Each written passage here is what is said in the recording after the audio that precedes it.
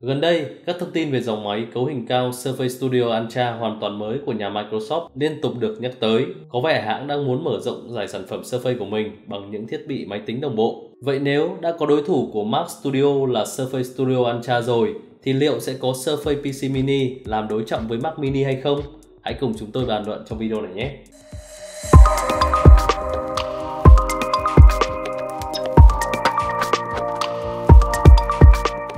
một Tìm hiểu về đối thủ Mac Mini M1 Mac Mini là một chiếc máy tính để bàn do Apple sản xuất và phát triển được ra mắt lần đầu tiên vào năm 2005. Điều làm cho Mac Mini khác với những chiếc máy tính thông thường đó là thiết bị này rất nhỏ gọn và có thể mang đi bất cứ đâu. Những gì bạn nhận được trong hộp máy là một chiếc máy tính để bàn có kích thước rất nhỏ gọn, hình hộp và chạy Mac OS. Mac Mini hoạt động như một chiếc case máy tính. Bạn sẽ cần kết nối các thiết bị ngoại vi khác như màn hình, bàn phím, chuột để sử dụng. Bạn có thể sử dụng Mac Mini để làm các công việc như dùng Word, Excel, PowerPoint, lướt web chỉnh sửa ảnh với Photoshop, lập trình đơn giản hoặc bạn có thể kết nối Mac Mini với TV để tận hưởng những bộ phim yêu thích tương tự như một chiếc set top box. Điểm nổi bật nhất mà phiên bản Mac Mini mới nhất có đó chính là con chip M1. Bộ vi xử lý mới này được xây dựng trên tiến trình 5 nanomet, giúp máy tăng hiệu suất CPU nhanh hơn gấp 3 lần so với phiên bản trước trong khi vẫn giữ được kích thước nhỏ gọn. Về các cổng kết nối, Mac Mini M1 có cổng LAN, Thunderbolt 4, HDMI 2.0, USB-A và một cổng 3.5mm. Người dùng có thể lựa chọn RAM tối đa lên đến 16GB, SSD tối đa lên tới 2TB. Cấu hình này đủ để đáp ứng nhu cầu sử dụng thông thường một cách trơn tru và mượt mà. 2.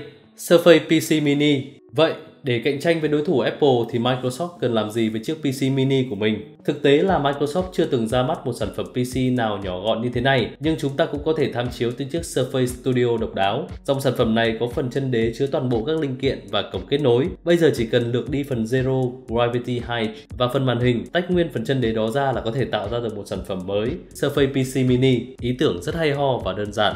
Về cấu hình, hiện nay Surface Studio 2 Plus mới nhất có cấu hình hơi lạc hậu so với chỉ một tùy chọn bộ vi xử lý là Core i7 11370H, tức là Tiger Lake H35, một vi xử lý cho laptop với 4 x 8 luồng đã ra mắt từ năm 2020. Đi kèm với đó là GPU Nvidia RTX 3060 Mobile 6GB, phiên bản dành cho laptop với lượng điện năng tiêu thụ tối đa là 70W.